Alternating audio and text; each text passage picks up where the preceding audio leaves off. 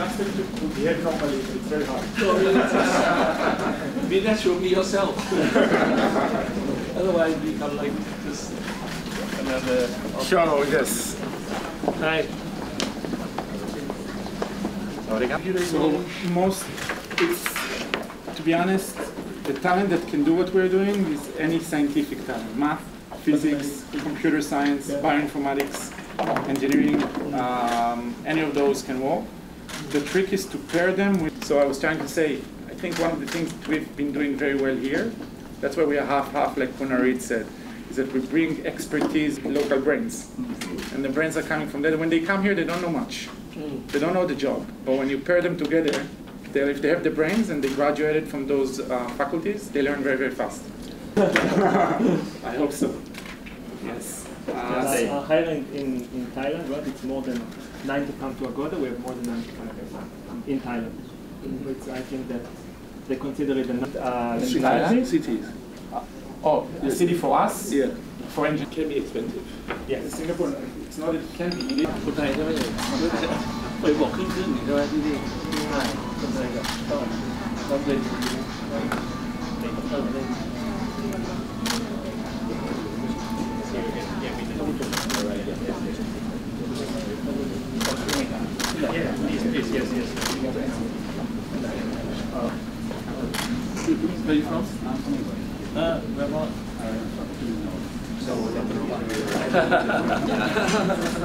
before this, well, before this, where you were, I was uh,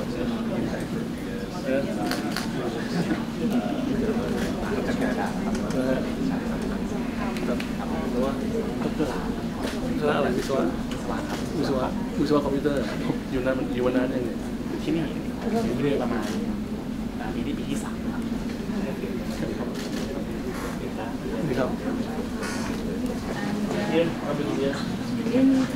actually 10 years I studied in Quebec, Egyptian ah. University, and I got a chance to work here in Thailand here.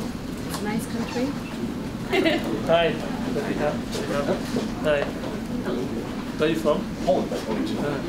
Yeah, I've been here for eight years already. So, um, I mean, what can I say about Thailand?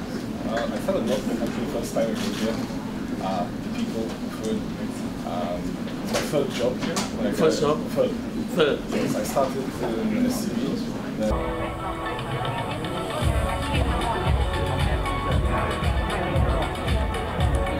everyone, and particularly, of course, to uh, Your Excellency Prime Minister Srettha, uh, of course, to the other honorary guests we have here today.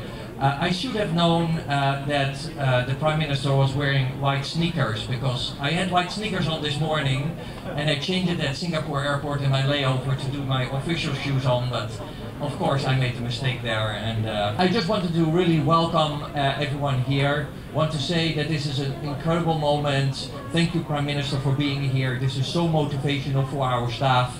This is such an honor for the whole Agoda team and for Booking Holdings, which is the largest online travel and experience company in the world. Uh, we are around two to three times larger than number two or number three in the, in the market. And just give you a couple of high-level numbers, we do a billion room nights per year. Thank you much for talking about the shoes. If you know me, you know that if I wear a tie, uh, distinguished guests, um, Agodians, so many Agodians that I see in the crowd and so many online. Uh, Swati Krab, thank you for being here in such such an amazing uh, um, point in time for us.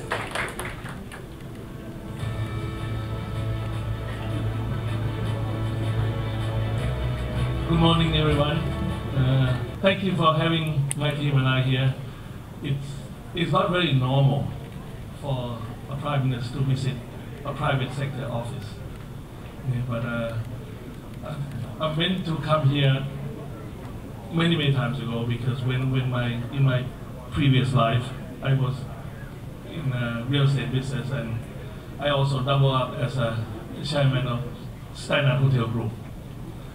And uh, I heard a lot about Agoda, even though somehow our business plan, our meaning like standard business plan doesn't depend a lot on Agoda, but I, I don't know, I've left about two years ago, so maybe they've become smarter.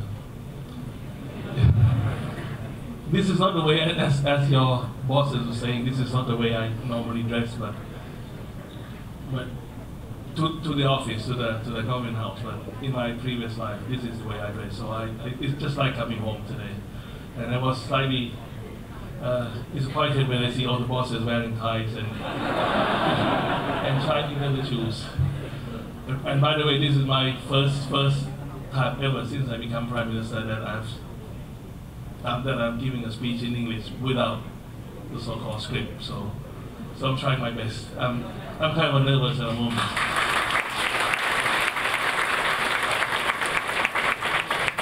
As the boss uh, started off the, the speech by saying that Thailand is open for business. I, we, we meant it, and uh, I also would like to add that there's no better time to do business in Thailand than now. And, but, but I guess you have known this, you know, over 10 years now, and by, by having half of your staff being Thai and half being uh, expat, I think that's a testament to uh, how Thailand has been making progress in terms of in terms of trying to attract world-class talent from all over the world, all over the world. Uh, two of my sons are away. One of them work in London, one of them work in New York. As a dad, do I miss that? Of course I miss that. But again, when seeing uh, the smile in all your faces and all the welcoming gesture that you have given, I think I think it, it feels like, you know, I have the community of my children back here for like 45 minutes before I go back to the government house and, and, and handle all the all the current issues. Next year will be the biggest ever year for Thailand tourism. I guess you know that. But you have probably have heard many prime ministers saying many making many promises that obviously they're trying to keep, but whether or not it's become materialized, it's another matter. But I can assure you that next year will be Thailand's biggest ever year for tourism industry. And we are doing everything we can to make sure that the whole journey is smooth and successful. Not just in terms of bringing in all the festivals, like for example, the uh, uh, Formula E is coming, uh, world-class concerts are coming, and uh, many other uh, events are coming. But the team is looking into all the issues. I would actually like to come and visit more or send my team here on a monthly basis to find out what are the potential problems rather than coming and tell you what we are doing because what we are doing you can probably follow that on the government website but as I've said many times to uh, various members of the press that sometimes the the voices that you should hear is the complaints from the stakeholders. If we don't hear it, then we can't solve it. I was just telling uh, the small group in the meeting earlier today that yesterday we had a meeting at the government house in terms of connectivities. The number of flights coming to Thailand is a major limitation to what we can do. Obviously, in the longer term, we can solve that problem. But fourth quarter will be big. We will start off with Chiang Mai the fourth quarter in Chiang Mai, we will have events every weekend. Uh, uh, Michelin Food Fair is coming between, I think, early early December. There will be Creamfield coming for the uh, Loy and uh, Halloween. And there'll be many other things. A startup competition, a hackathon, uh, coffee fair. There'll be many, many things. There, there'll be 12, 13 weeks and during the fourth quarters. Every weekend in Chiang Mai will be, will be. My concern is, do we have enough flights going there? We had a meeting with Thai International yesterday and also Vietjet yesterday.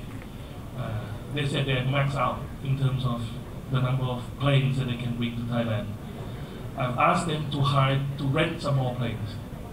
They said they can, they can look into that, they're willing to look into that, they think they can do that, but the problem they have is if they rent the plane, the plane need to come with pilot and air hostess as well. The problem is pilot is one of the profession that is only reserved for Thais. So the problem is we cannot get rent the plane with the pilot because Swedish pilot cannot work in Thailand. So my Secretary General, who is sitting with me today, will have to work with the Labor Department to make sure that there's temporary lift for the for the uh, international pilot to be able to work here. That's just a small stuff that we are working on. That's just the, the thing that when I give you an example, I just want you to think along with me on what are the potential issues, problems, obstacles that you're facing in your everyday when you sit in front of your computers. I meant it when I say that I will have my people come here every couple of weeks or every month to listen to you on what are the potential problems, what are the problems you're facing, so that we can try to solve it together. I want to stand here and lie to you that I can solve every single problems, but I will certainly be honest. If you tell me what are the problems, I can tell you it cannot be solved. But let's try to find other ways in which we can solve it and try to make sure that your business can move along. Lastly, I hope that your ambitions can match with mine in terms of next year, biggest ever year for tourism. Thank you very much. All right, next up, Mr. Omri would like to uh, give a token of appreciation to His Excellency the Prime Minister of Thailand. So first off, we will take a picture of the box and then we will later unveil it.